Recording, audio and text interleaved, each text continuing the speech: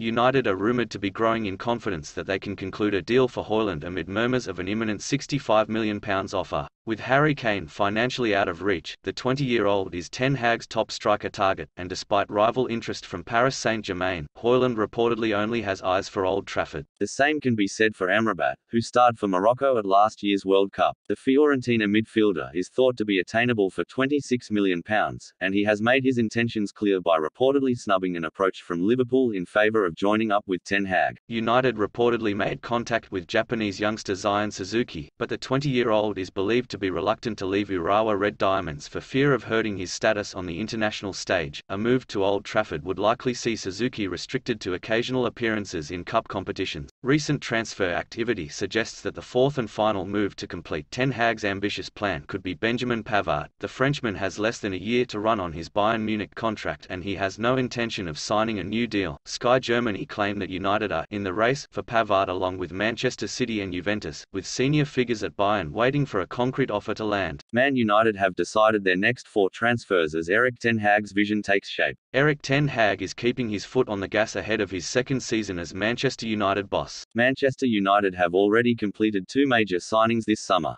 If Erik Ten Hag gets his way, Mason Mount and Andre Onana will be joined by four more new faces as the Red Devils boss prepares to kick his squad revamp up a notch. Mount is expected to bring a new dimension to United's midfield, while Onana is a straight replacement for David De Gea between the sticks.